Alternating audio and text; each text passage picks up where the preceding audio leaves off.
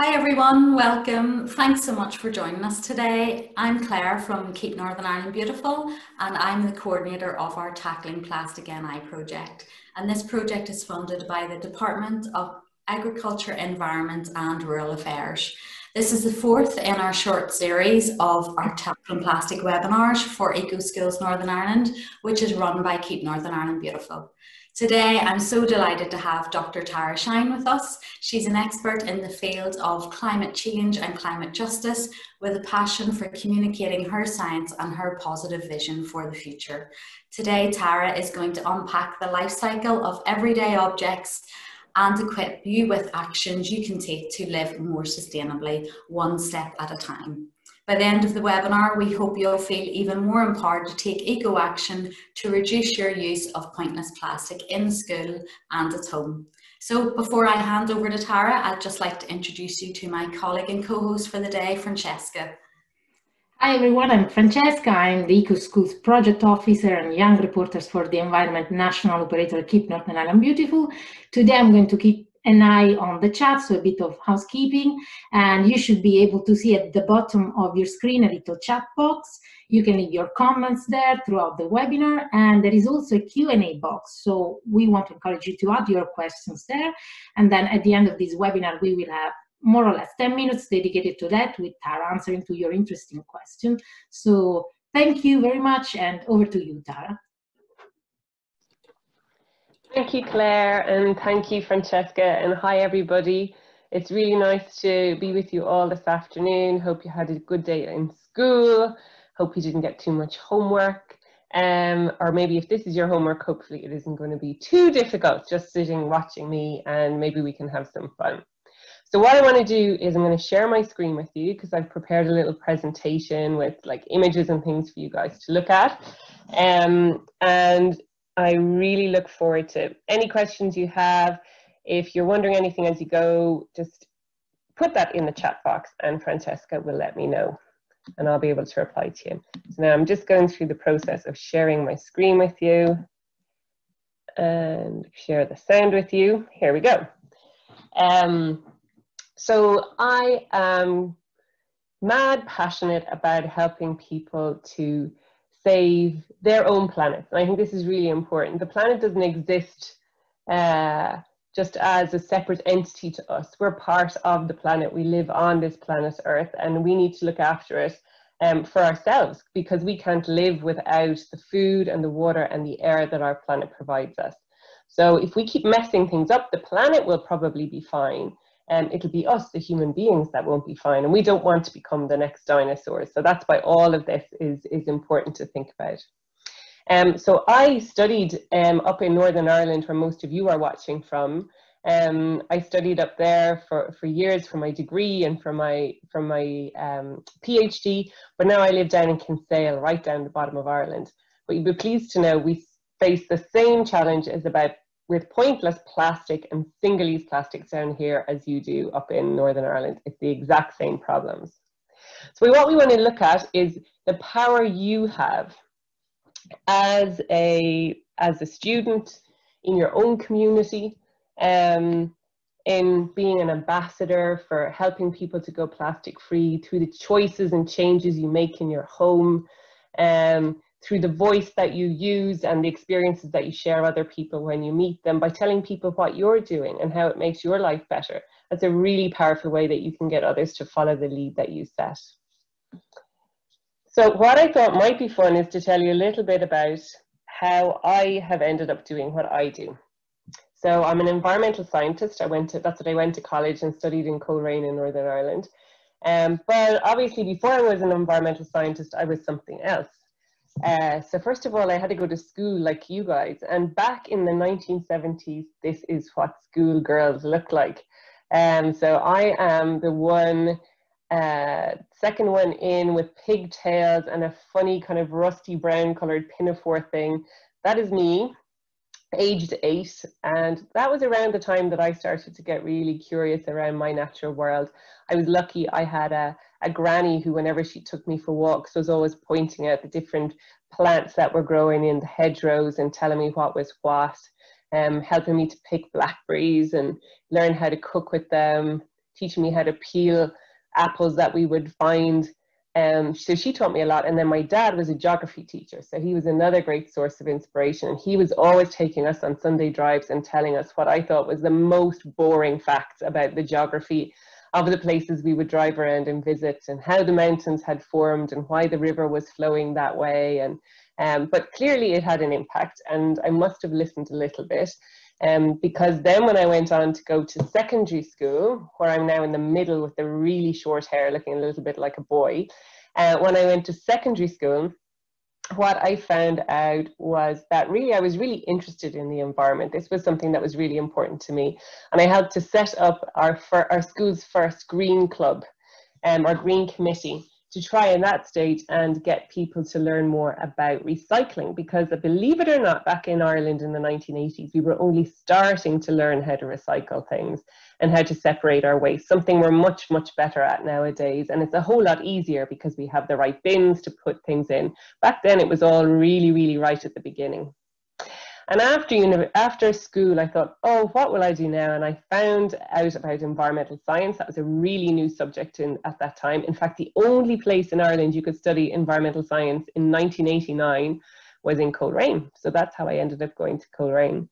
Um, and I studied environmental science there for years, and it, it, was so much fun. I really enjoyed it, and it led me to have loads of adventures, particularly in Africa, um, and included me living in that country there that is colored in in orange on the map. That country is called Mauritania. It's huge. It's two and a half times the size of France, and nobody has ever heard of it. I had never heard of it. It's kind of squeezed in there between Morocco and Senegal. Three quarters of Mauritania is, is desert, Sahara desert. It was the hottest place I have ever lived in my life. In the month of May, the temperatures get up to 50 degrees Celsius. It's like having a hair dryer on hot, blowing in your face the entire time.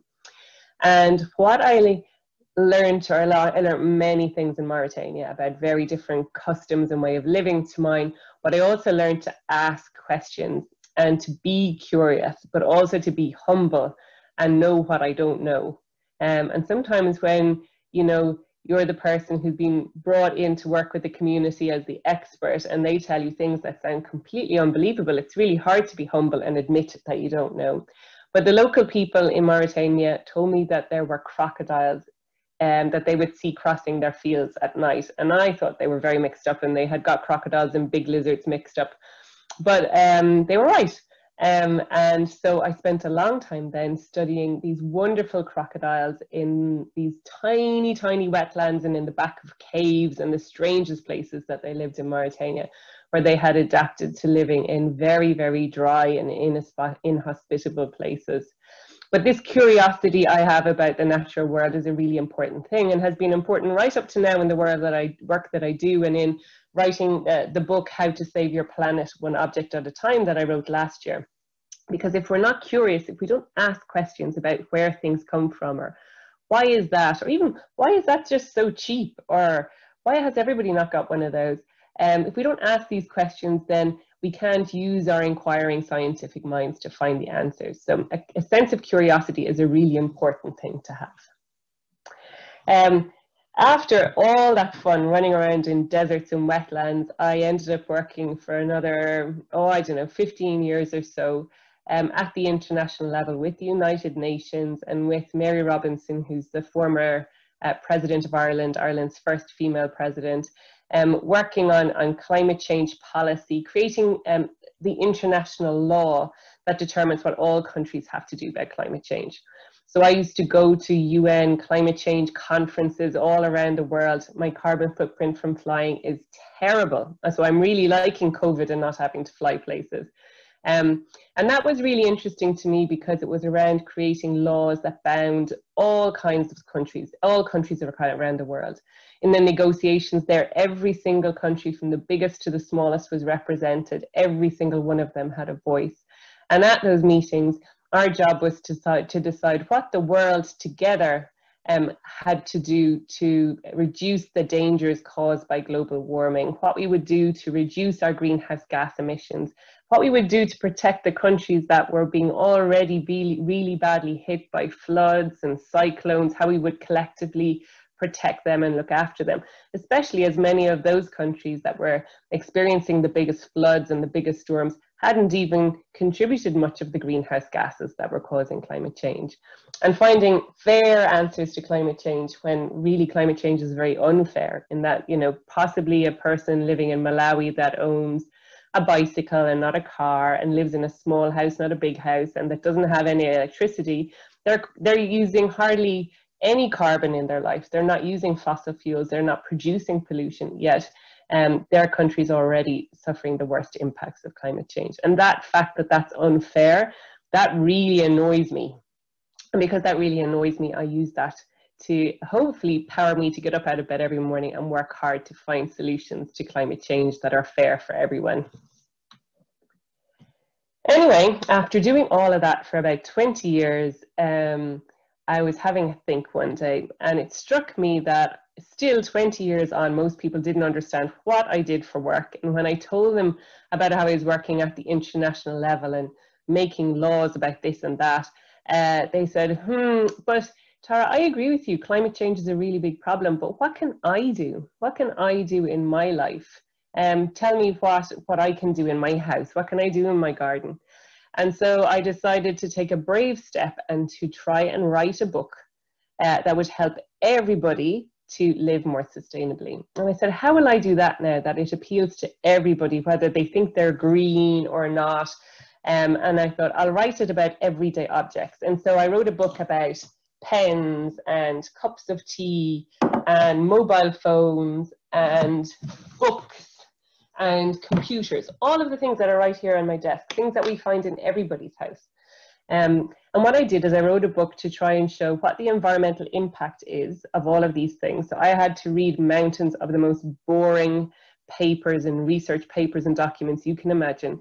But I did that to try and boil down, to try and find the best bits of information and to say those in, write those down in plain English that everybody could understand. They could understand the fact that their mobile phone is made up of precious minerals. Some of those are dug out of the ground in the Congo by, by young boys who have very few rights.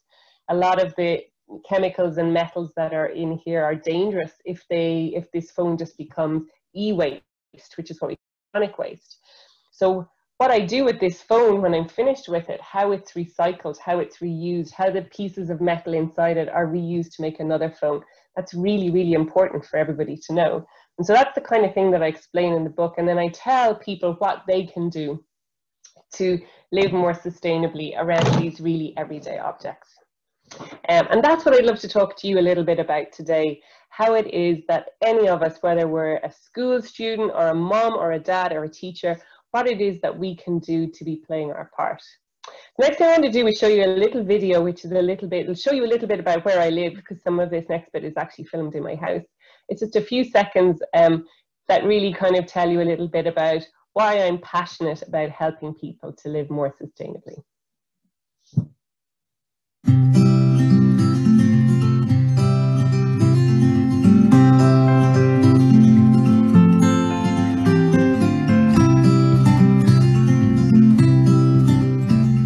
I don't think we will make these changes to save the planet. I think we'll make them because they're good for us.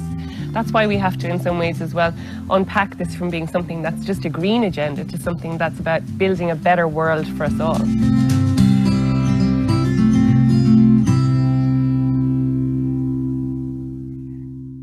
So I hope some of you spotted my dog in there. Did you? Do you see him jumping off the trampoline? That's my dog Bertie.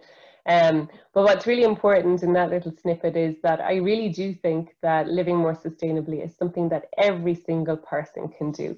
Um, and I think we just have to make it easier for people and explain it better and let people see how powerful they are.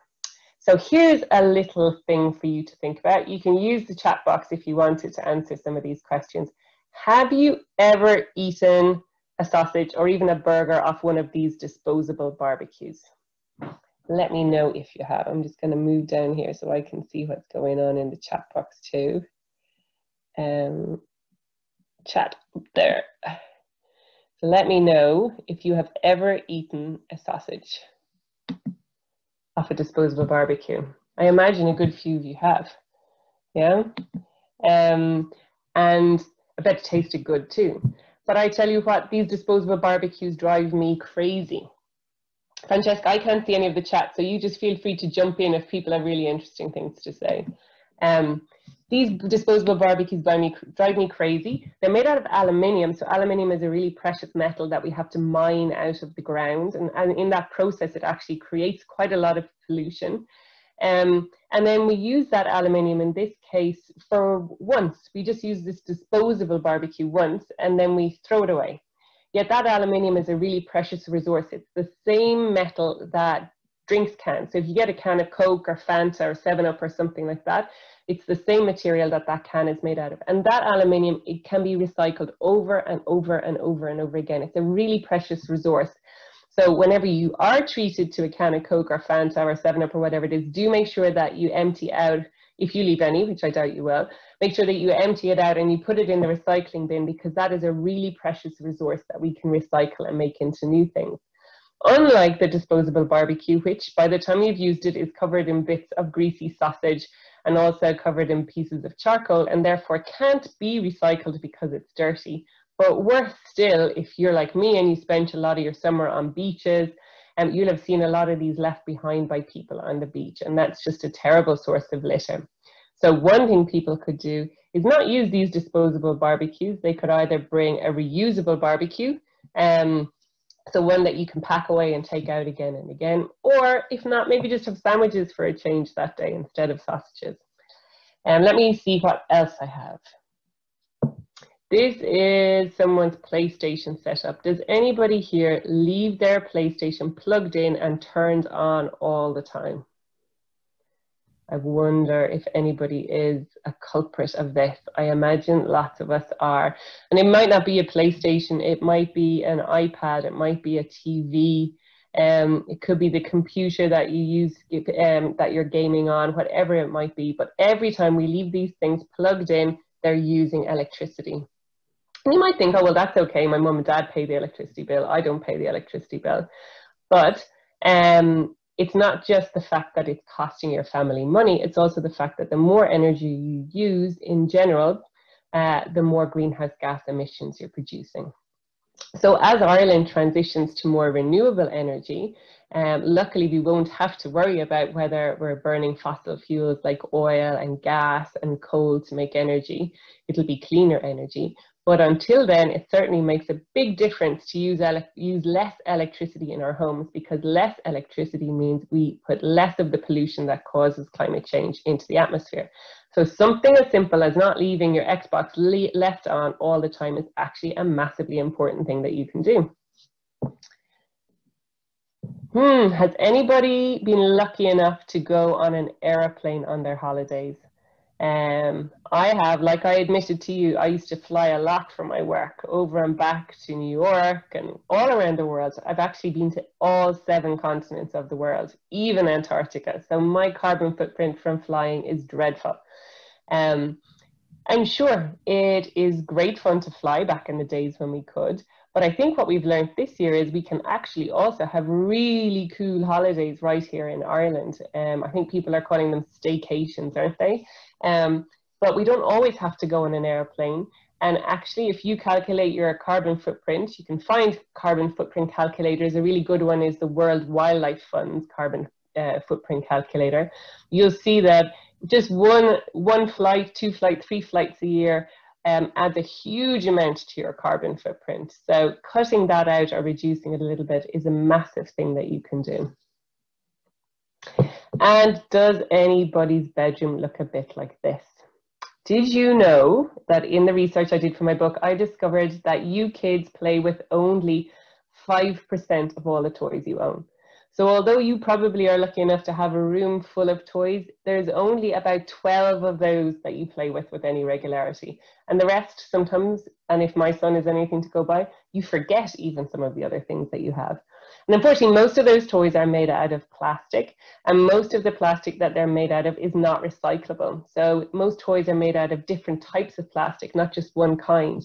And so we can't put them in the recycling bin.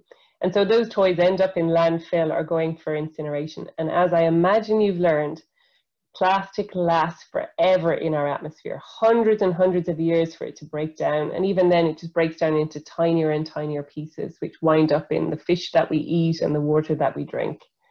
Um, so again, this is something to think about. Sometimes when it's your birthday, maybe ask for an experience, like ask to go away for the day somewhere or to have friends over to do something or make something together rather than maybe always asking for new things because all of those toys they add up in your room that's fine. It's lots of clutter to fall over. But remember you're only going to play with 5% of all that you own. So this is the problem with plastic pollution and i think i can't quite remember. I think my next slide is a little story a little video. Oh yeah no this is what i wanted to say sorry. Um, i wanted to make sure that you all understand that I am not perfect and that you don't need to be perfect. So I don't want this bedroom to become three toys and everything perfectly orderly and tidy. That would be boring. Um, and I don't want any of you to be perfect, but I think we can all be a bit better. And that's all that we're trying to do, be a little bit better in how we live our lives. Um, and if you come to my house, you will find things that are not done correctly. In fact, I have not even done all the things it says to do in my book. Yeah, I promise you I have not done them all. Um, so we're aiming, Yes, go ahead. That'll really resonate with everyone because there's a lot of people saying that's exactly like their bedroom. so don't feel bad if it is your bedroom, but maybe, you know, if there's some toys, what could you do with toys that you're not playing with? Maybe if there is some stuff there and you really, you haven't played with it in a year or two, but it's in really good condition. Do you have a cousin you could pass it on to or a neighbor down the road who's a boy or a girl a little bit younger than you and they could play with it? Or here we can sometimes take toys to um, community play schools or nurseries and they'll take them or maybe to a charity shop. Um, at the moment, some, some places need that you to put the stuff aside for, you know, 48 hours um, because of COVID, but that's all doable too. But yeah, don't let those toys go to waste. Toys are fun after all.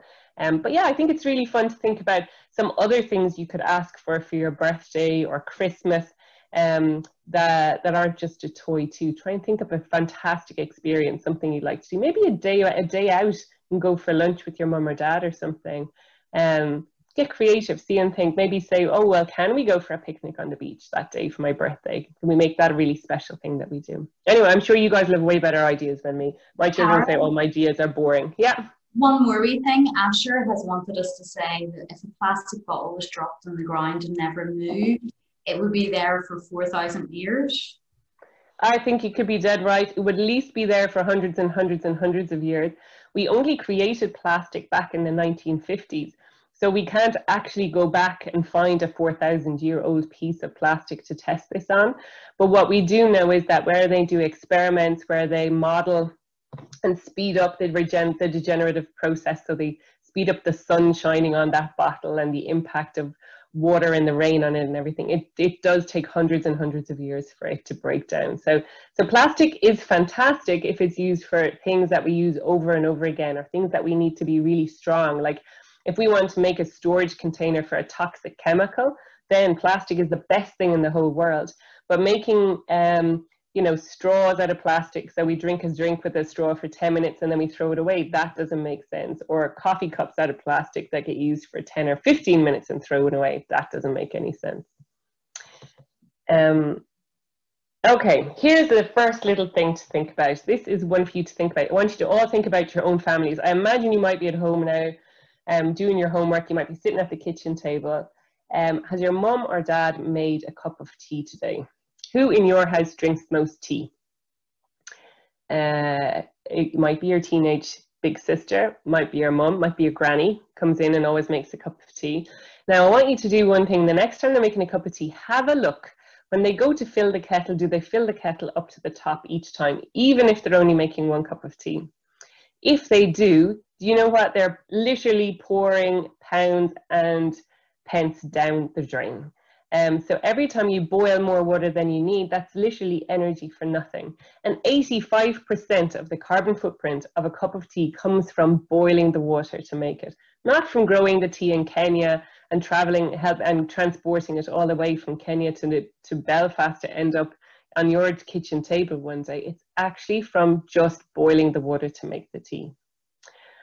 Do you know what else is surprising that you find in tea bags? It's fact, many of you might know this already, that many, many tea bags contain plastic. So the glue that holds the plastic, the tea bag together can be made of plastic, or actually sometimes even the, the mesh that the plastic, uh, that the tea bag is made of is made of plastic. And what that means is they also don't biodegrade. So lots of people put them in their compost bins hoping that they'll break down and they go out and check two years later in their garden and the tea bag is still sitting there and that's because they're made of plastic. If you look around now, you'll see lots of campaigns around that are trying to get the companies to make plastic-free tea bags. And what you can do in the meantime, if you can't buy plastic-free tea bags, you could suggest this to your mum or dad or whoever is the big tea drinker in your house, is you could go back to making uh, tea in a pot with tea leaves because everybody says, and I think it's true, uh, that that tea tastes nicer. So if your mum or dad thinks they're a real tea connoisseur, or even if you are, I know loads of kids that love tea, milky tea, um, try and see and try and make it if you can with tea leaves instead. And those tea leaves you can put straight into your compost bin in your garden or into your food waste bin and they will rot down no problem at all and can be turned into compost to grow new plants in. So we're going to think a little bit more about plastic. So we were just been talking about how plastic you know, lasts in the environment and how dangerous it is. So I want to show you this little video, which is all around the issue of plastic in our oceans.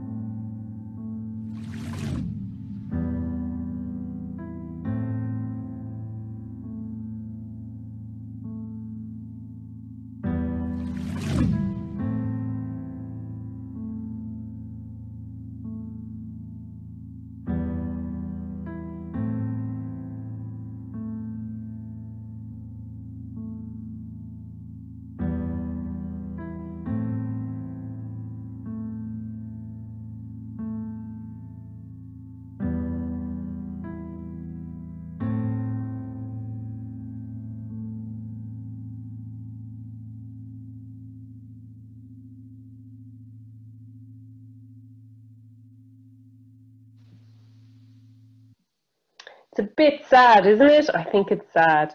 Um, but then there's lots that we can do to avoid those sad things in that film happening. Um, all of these things that are made out of plastic are all things that we human beings have created. we've invented them. Even just those hoops that hold cans of drinks together, um, or we've designed the best fishing nets and we've designed them all to be made out of plastic so they're really strong and they last forever. The fact that we design them means that we're also going to be able to design alternatives to them and we're going to be able to use our really clever brains as human beings to think about alternatives so that we're not harming the other creatures that are living on earth. And if that video, if you thought that was sad, one thing you can do at the weekend and nowadays you'll need to be careful and you'll need to wear gloves when you're doing this and wash your hands really carefully when you go home um, but you can help out with a beach clean and help to tidy up uh, our beaches and make sure that all of these bits of plastic that get washed up or get left behind by people when they go to the beach that they don't end up in our in our rivers in our streams and in our oceans so that we can keep those um, creatures safer. But even better than that is to not use these things in the first place. So can we together think of some plastic free alternatives? Let's see. What could we use? You saw what happened there when the balloon got let go by the little girl and it floated off into the sky and it popped and it ended up in the ocean. And in the ocean, that balloon looked just like a jellyfish. And turtles love to eat jellyfish. And so that turtle ate the balloon by mistake and it went into its tummy and it would make it feel not well and then maybe not make it want to eat properly. And then that can cause the turtle to die, which is really sad. So if you have a birthday coming up, what could you use instead of balloons to make the house feel festive and nice. Can anybody give me an idea for what you could use instead of a balloon? Um, can be great to have some of those shouted out because for some reason, Francesca, I can see the Q&A, but I can't see the chat. I can oh, that was you, so I'm... sad. I can see them now. I yes. know it was sad, wasn't well, it? there is somebody actually that is saying confetti. So if you want to add a little note there, Tara.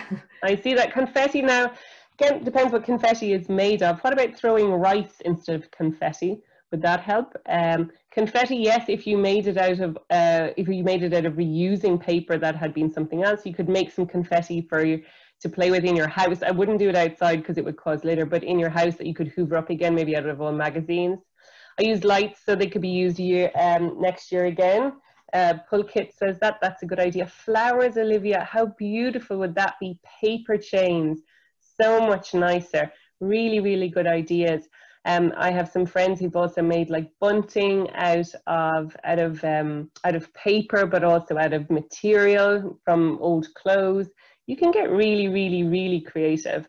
Um, but yeah, I just think how beautiful oh, paper lamps. All of these things are good, good ideas. The only thing I will say about those paper Chinese lamps is you need to be careful with those. They actually cause as much damage in the environment and to wildlife as balloons do um, some instances of poor cows eating them by mistake and it doesn't go well.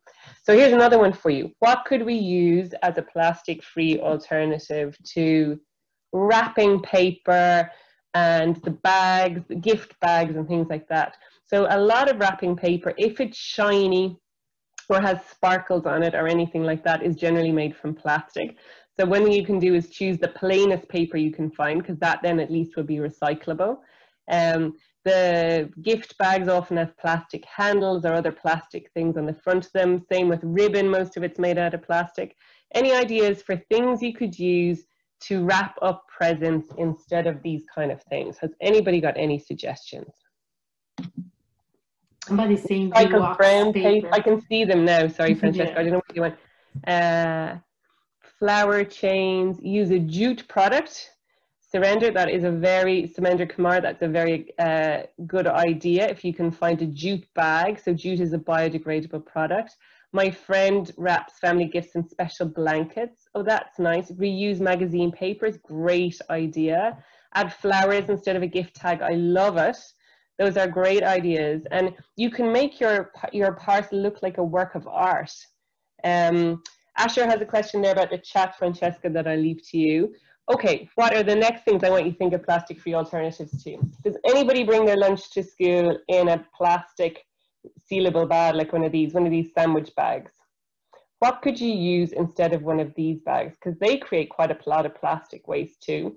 If you do use them, one thing I would say is rinse them out and reuse them. Certainly don't use them once and throw them in the bin. Um, has anybody got any suggestions for what you might do um, with some of these plastic bags if you have them. Oh, hold on. I'm going to try and find the chat again. One person, Tara, saying beeswax. Beeswax, yeah, yeah, for bees wraps, that's a great idea. Yeah, thanks, Francesca. It just sometimes it's coming up and sometimes it's not for some reason. Can you see it now, Tara, or still? no? I can't now. Somebody's saying metal box. You know, I'm hitting on it. It just doesn't show up. Right. Well, we can tell you there is somebody oh, and suggesting. then there it just appeared. So yeah, right. Somebody uh, suggesting metal box. Other are saying paper bags. Yeah, biodegradable leaves. bags. That's what Leah some, does. Yeah. Some people Again, are saying leaves. Yeah. Try not to use the bags only once. Um, you know, you can reuse some of those. Why not just a lunchbox? If it's some fruit or nuts or a, a sandwich, it can just go in a lunchbox. It doesn't have to be wrapped in anything. Um, you're right, dead right. Uh, Akriti Roy, you can use certain leaves for packing food. You could, if we had banana trees growing in our gardens, they would be great. Unfortunately, they don't grow so well here. Um, but um, a lunchbox, whether it's metal, even if it's plastic, at least you will reuse it and reuse it and reuse it. All of those things are better than using um, single-use bags. Okay, uh, another one for you. Wipes. Wipes are, wipes feel nice. They're good for cleaning your face with and your hands. But did you know that wipes are made out of plastic? Um, and the worst thing you can do with a wipe is flush it down the toilet because flush down the toilet, they cause major blockages in sewers and it costs an absolute fortune. They cause things, they build up with the grease that people um, wash down the sink and they call, as cause a thing called a fatberg, which is pretty disgusting and blocks up the whole sewage system. It's done that in London City and caused a massive problem. So what could you use instead of a wet wipe? Any ideas? Now I'll try and see if I can see this again. Any idea? One said face cloth. Face cloth, yes, an old fashioned face cloth. You can use that again and again, and when it's dirty, just put it in the wash. What else, Francesca? Somebody's just saying soap and water, which is actually something we forget about. And the great thing about soap and water is soap and water kills the coronavirus. So it's the best thing. If you have soap and water, you do not need anything else. I know that isn't always practical if you're out and about, and that's why we now have to carry the little things of sanitizer. But even with the little things of sanitizer, think about how you can refill those so you don't have to buy a new one each time. So buy the biggest container you can find, and then hold on to the little container you have and just refill it. Yeah, somebody started saying sponge, but then sometimes sponges can be Believe it or not, a lot of sponges are made out of plastic. So those yellow and green sponges that most of us have at the sink for washing the dishes, they are made out of plastic. They don't biodegrade. And here is a disgusting fact for you that I know you'll remember. They contain more bacteria than your toilet. Mm-hmm. That's kind of disgusting, isn't it? It is. So uh, yeah, sponges are not always the answer either, especially the plastic ones. Tara, someone has said, what about the flushable toilet wipes? Are they okay? Would you like to comment on The that? latest research on those is that they're not really flushable. The best thing to do is not flush anything down your toilet that isn't pee or poo or toilet paper.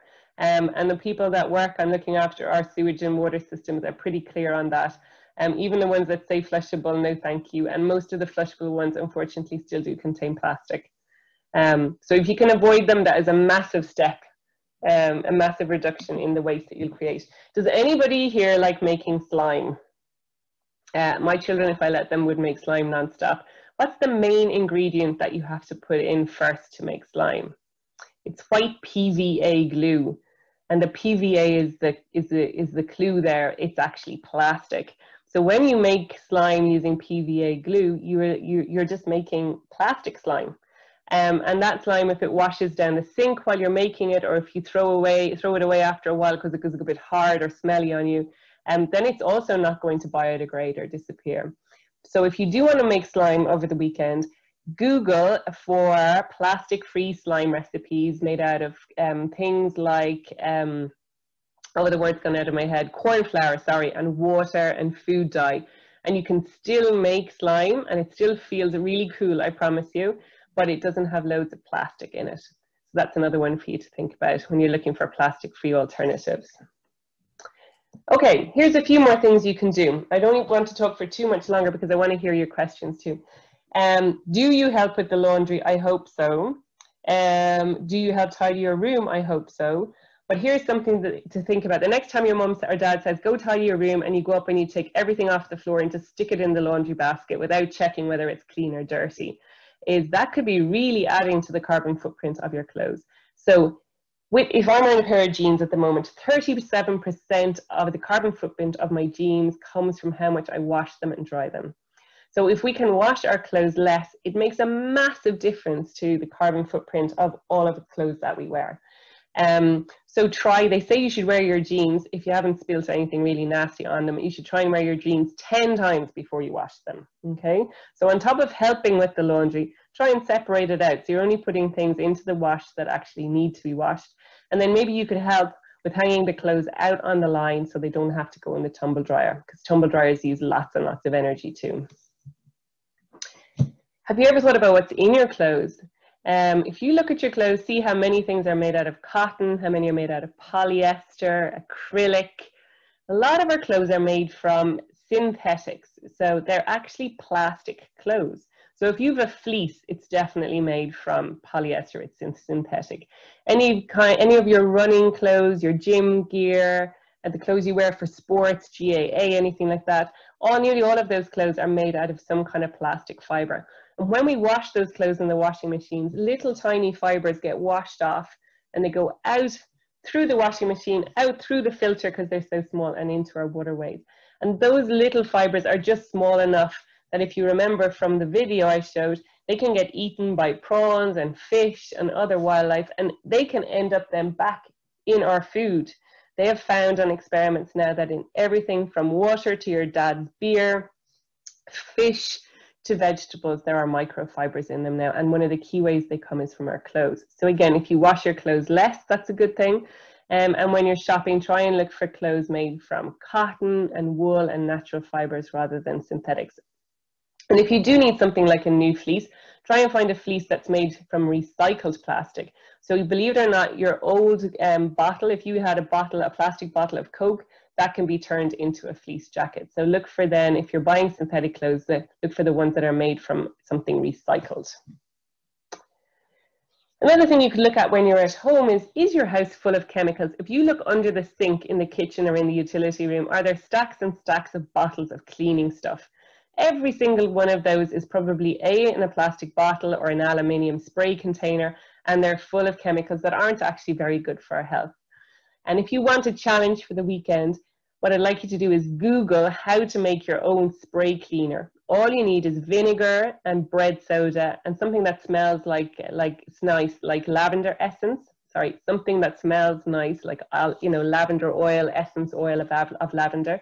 And that's all you need to make your own spray cleaner. And you can use that one spray cleaner to clean the bathroom, the kitchen, everything. So the next time you're helping with the with the housework, that's something you could try maybe your mom or dad would let you try and make your own cleaner. As we talked about at the beginning, don't forget to turn things off. The TV, the computer, everything. Vampire energy is what we call the energy that gets used when um, appliances are left on standby, standby. And in Europe, 11% of all the energy used by European houses um, is, comes down to leaving things on standby. So in your house, it's probably much the same. 11% extra onto the bill that you're paying because you're leaving things on standby. And here's a little thing you could do. You could try and do an energy audit this weekend. Go around the house and write a list of all the appliances that you can find that are left on standby. The TV, the printer, the computer, the microwave, the radio, whatever it might be, count them up, see how many you get, and then see if by next weekend you can reduce that number by three. Everything that you do there will save your family money, but also reduce the amount of pollution that your family causes that contributes to climate change. Okay, that's one thing you could do. Other things to think about, who is it in your house that goes, oh, I'm cold, and goes and turns up the heat? Every time you turn up the heat in your house by just one degree, it adds 10% onto the bill. So try, try and keep it cooler and maybe put on a jumper instead of saying you're cold and would mum or dad turn up the heat might be a good thing. And I don't know how many of you have thought about uh, open fires and stoves. maybe they make you feel nice and cozy and you think, oh, it's so nice when I come home from school or on the weekend when we light the fire to keep warm. Um, and of course, we all like to keep warm, but open fires and even, even wood burning stoves, they produce as much air pollution um, or a wood burning stove does as much air pollution as a car, a diesel car does, as 18 diesel cars do. So 18 diesel cars driving along for an hour is the same amount of um, uh, pollution produced by a wood burning stove. And what we know now is that in Ireland last year, 13,000 people died from air pollution. And the key causes of air pollution in Ireland are, um, are solid fuels, so burning turf and coal and, and wood in our homes, um, and also driving diesel cars. Those are the two main causes of air pollution, and it's killing loads of people. Um, so we, everything we can do to try and um, burn less fossil fuels, in this case, less coal and less peat in our fires, the better it would be. Give you a few more things to think about. In your garden, loads of things you could do. if you can persuade your family just to not mow all of the lawn, but make, let maybe let a little bit go wild, then that can be a really nice place for biodiversity, for bugs and beetles and butterflies to come and live. You could even build one of these bug hotels that I'm sure you guys have learned about in school. and another really important thing that we can all do for gardening, and I think lots of us did lots of gardening during uh, lockdown, is to try to make sure that when we're growing new things and growing seedlings, that we use compost to grow them in that has no peat in them. If it's compost made of peat, which most compost is, then that means that we've had to dig up a bog um, to make that compost. And bogs hold more carbon than, than the Amazon rainforest. They are amazing places for holding carbon and they're amazing places for biodiversity. They have plants that eat animals. They have newts living in them. They are amazing. So we need to hang on to our bogs. So look at the bag the next time you're out in the shed and see if it says that your compost contains peat or not. And maybe the next time go with your mum or dad to the garden centre and give them a little reminder. Who has a dog? So I have a dog now, he's one year old. His name is Bertie. And of course, I have to pick up his poo after him. But would I ever put the poo in a poo bag and hang it on a tree? I hope not.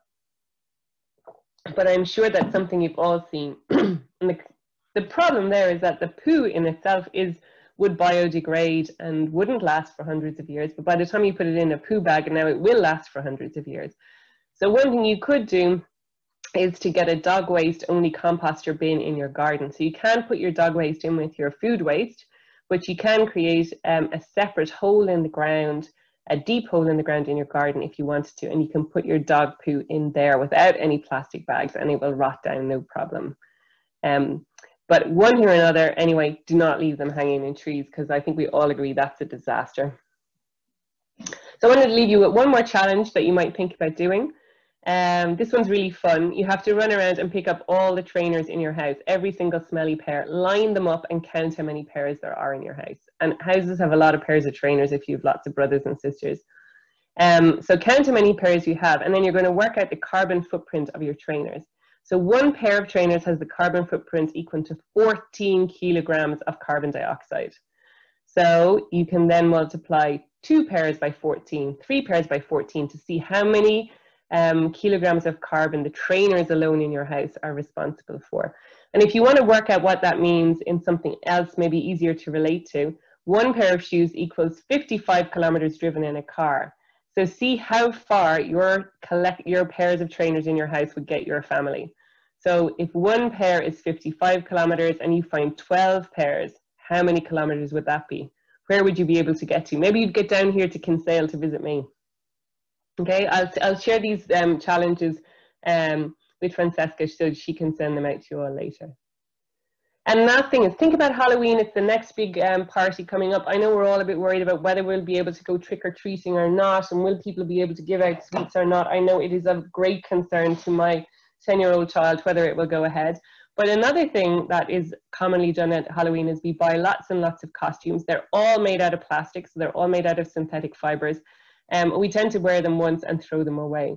So a few suggestions are either make your own costumes or look for some in secondhand shops or um, make your own, look for some in secondhand shops, pass on any old ones you have that don't fit you anymore to somebody else, and get a little bit creative. You can make wonderful things.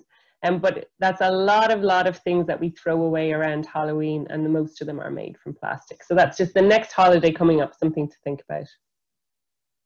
So listen, you can ask me anything you want to know. I have researched for the book objects in the bedroom, the bathroom, for parties and celebrations, things that you use in the office and at school, sports gear, leisure gear, anything at all. Um, I'd love to answer your questions, any of them that you might have. And what I'd love you to, uh, oh, I'm going to come back to that. What I'd love you to remember is that when you do ask questions about things, when you are curious, and then when you take an action, and then when you tell somebody the action that you've taken, it causes this massive ripple effect and you become so powerful. So every single little thing you do is important. Before I came on, I made my plastic promise. Um, it is to be a plastic-free ambassador and to help children in Ireland to be plastic-free ambassadors.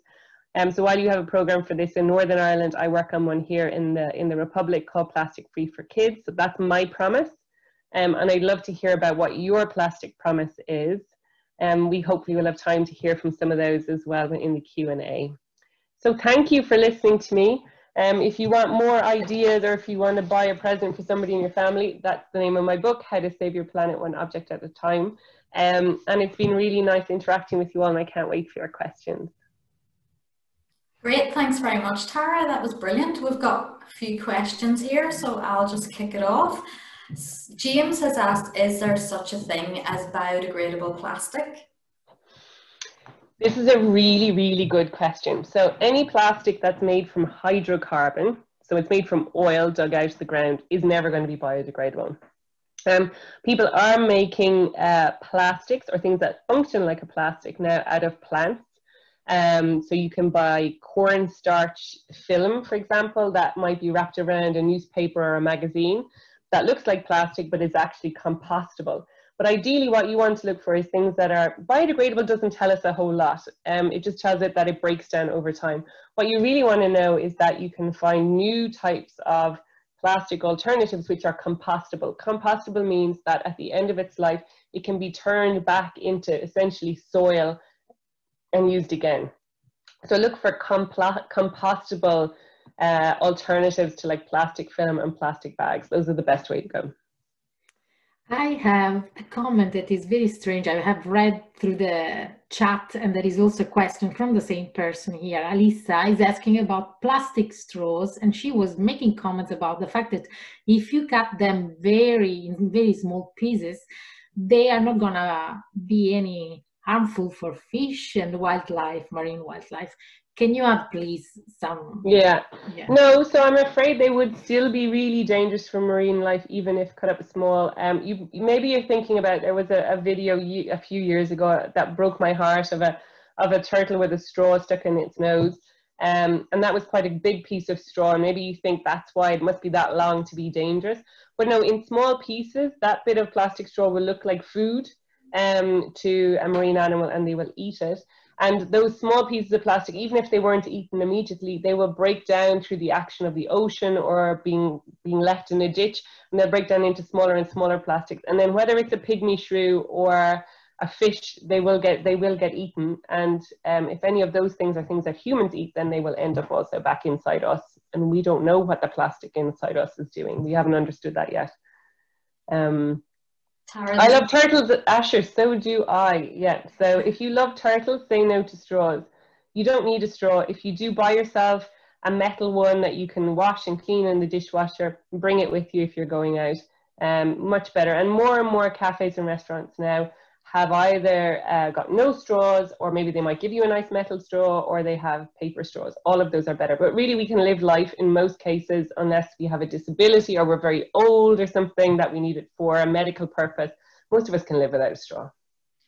Tara, the next one's very current. So how is sustainability possible during the pandemic if we're afraid of catching the virus with everything we use? So this is a really good question. I would say the one thing to remember about this virus, there's loads we don't know about this virus, and I'm not a medical person, but what we do know is that soap and water kills this virus. Okay, so that means that a lot of the things that we're worried about, if we just wash them, we're safe.